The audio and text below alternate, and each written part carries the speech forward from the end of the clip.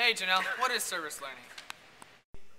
Well, service learning is taking a group of students and doing a community service project with them that implements um, what they're doing back into the curriculum. Hey Ella, what's this new project you're doing in school? Project Ignition is the name of our new project. It's a project based on teen driver safety. What we've done is we've received the first Project Ignition grant ever received in Michigan.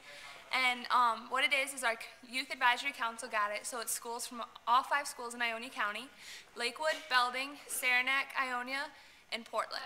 And what we're doing is we're advocating for teen driver safety. We're doing this through creating a commercial that's going to be aired on public television as well as a jingle that'll be aired on the radio.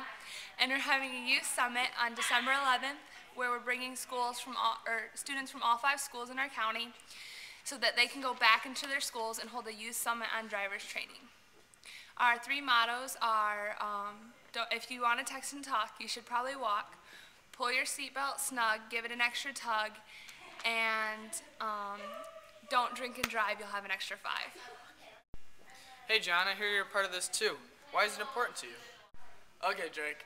I got friends that are older that drive, and I want them to be safe. So I have those friends for the rest of my life. That sounds really cool. Why don't I help you out?